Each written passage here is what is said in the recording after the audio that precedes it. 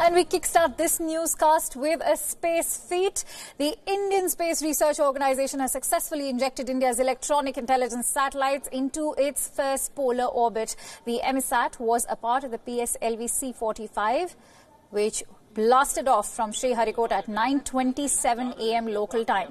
The PSLV C-45 is also ferrying 28 satellites from four nations. There are two satellites from Lithuania, one from Spain and Switzerland each, and 24 from United States. This is the PSLV's 47th flight, and it marks several firsts to the credit of ISRO. The PSLV would maneuver satellites in various orbits and orbital experiments. ISRO said that all these satellites were launched under commercial arrangements. The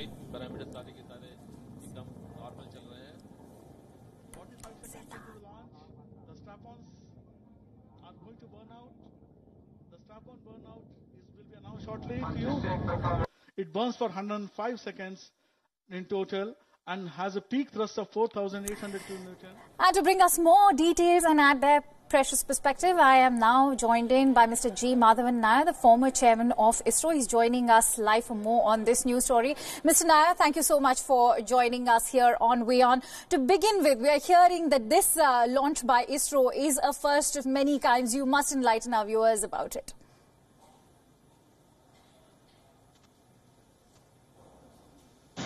Hello. All right, Mr. Nair, if you can hear me, we've been hearing that this ISRO launch is the first of its many kinds, and you must tell us more about it. Well, I think uh, ISRO has been launching PSLV for quite some time, but this mission is very unique in the sense that uh, in the same mission we are going to have uh, the satellites placed into three different orbits. Right. Uh, okay. Again, what is uh, the, the the commercial activity is also totally visible in this. Uh, 28 satellites from other countries, Right. a major part coming from USA, uh, shows that uh, commercially we are established ourselves in this field. Uh, then thirdly, uh, the fourth stage is going to be utilized uh, for certain operations uh, and carrying out experiments by education institutions or research laboratories. This is a unique platform being provided for the Indian uh, researchers at a very low cost. Uh, uh, really, if you look at all these things, uh, it's a very unique mission. And uh, the first phase of that has gone on completely successful. I would say to a, a precision which is uh, well beyond uh, normally what one can get. Uh, so that also shows the maturity of the launch vehicle technology in India. Absolutely, very rightly said. It is indeed a very unique mission, as you rightly pointed out. Mr. Nair also would like to ask you, what can we expect from this low orbit satellite, and why is the EMISAT being called the spy in the sky? Uh, well, uh, what I understand, I don't have the much detailed information on that. But at the same, what I understand is it is going to be an electronic monitoring uh, satellite. It will um, uh, monitor the various emissions from the ground in the RF and microwave uh, spectrum, and that will give us an idea about the various activities which is happening on the ground, about the ground stations, the radar installations, and so on. So that is going to be extremely useful for monitoring our own uh, country's performance and also uh, for potentially for certain uh, defense applications as well. Right. So you spoke about uh, privatization just a few minutes ago. This time, to a private company like Exceed Space is involved in this PSLV mission. What could privatization mean for the Indian space arena? Uh, well, I think uh, as the time progresses, the demand for PSLV, GSLV, and the spacecrafts are increasing. And uh, we have taken a policy decision that we should involve the industries maximally into the realization of these space subsystems. In fact, this has been policy uh, pursued for quite some time. And today, nearly 50 to 60 percent of the work related to these launches are being carried out by the private industry. But we are looking forward to a scenario where an industry or industrial consortium should be able to come forward and build the entire launch vehicle or entire satellite by themselves. But that is a fairly long way to go. But ISRO is taking a, a very special care in uh, nurturing such industries and bringing them forward. Right, and today's launch, uh, it, it comes just days after India's uh, Mission Shakti launch. What do you have to say about our progress in the sector of space? Well, I think uh, I must first compliment the leadership at uh, ISRO, Dr. Sivan, uh, then DRDO, Dr. Reddy, and above all, the enthusiasm and encouragement which is given by Prime Minister Modi ji. This is the reason that we are able to carry out such missions uh, in a time-bound manner and meet the security needs of the country uh, in a very precise and elaborate manner.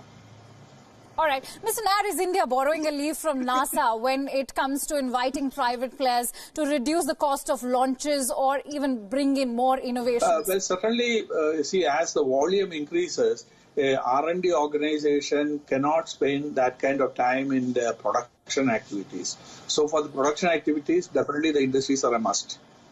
Right. Mr. Nair, lastly, my last question to you is by opening the satellite launcher for space enthusiasts, including children and students, do you think that this move will actually now encourage more youth to consider space sector as a career option? Uh, yes, certainly the space is a cutting edge of technology and probably the ultimate in the science and technology field. So once there are enthusiasts in that, you can find researchers in other fields also. So to attract the student talents to the science and technology area, this will be a big motivating force. Right. Also, uh, sir, as discussed uh, earlier, and ISRO has also made promises that 2019 is going to be sort of a turning point for India's space launches. How do you view uh, the act space activities in the current year? Uh, well, certainly up to now, whatever launches have been declared, it has gone on the dot. Uh, so it's with uh, precise planning and implementation. And uh, for the current year, uh, nearly 37 missions are being planned. It's sort of record as far as ISRO is concerned. I remember when we were uh, we have built the PSLV, we were struggling to make two launches in a year. But against that, today, a dozen launches of PSLV are being done. Mm-hmm. And not only that, the GSLV and the GSLV Mark III especially the one which is going to be used for the human space flight, is going to be launched uh, again this year.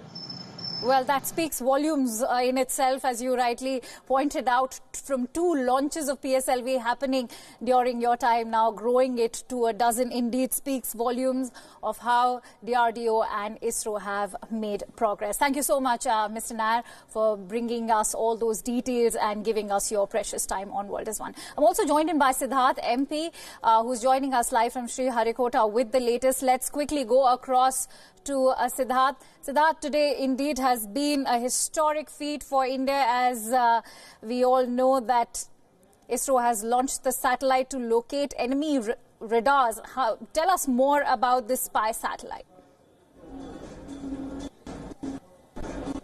Well,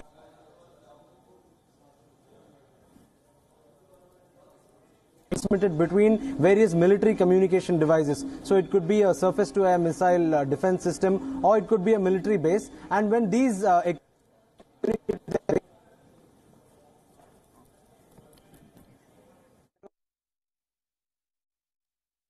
uh, there seems to be some uh, technical error out there, but this is the latest that we've brought to you all the way from Sriharikota, where 28 satellites have been destined to their orbits. Of course, another one is the EMISAT. As we said, it is the spy in the sky, supposed to aid electronic intelligence surveillance by ISRO. And there were other 28 nanosatellites of global customers that have also been placed in the orbit.